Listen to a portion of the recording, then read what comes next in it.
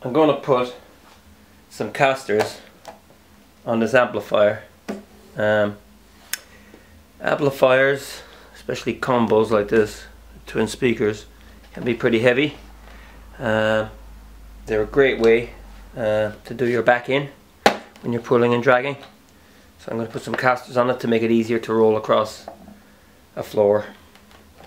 So you're going to need a drill driver, um, a set of casters and some screws. Underneath the amp there's already these little um,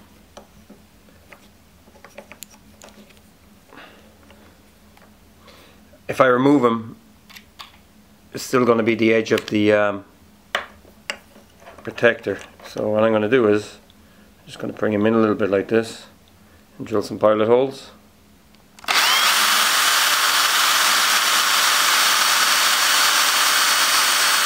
then you get your screws lined up like that.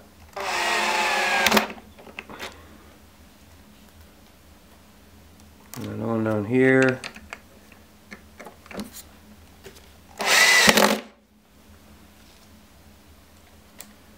So easy.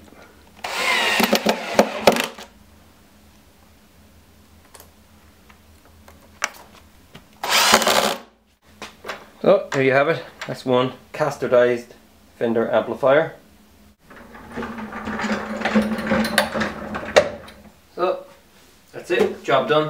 Um, now I must add the casters are to make it easy to push the amp across smooth floors. Uh, you wouldn't want to be pushing it across pavement and stuff like that because obviously the vibration will shake the shit out of the tubes and could damage the uh, amplifier.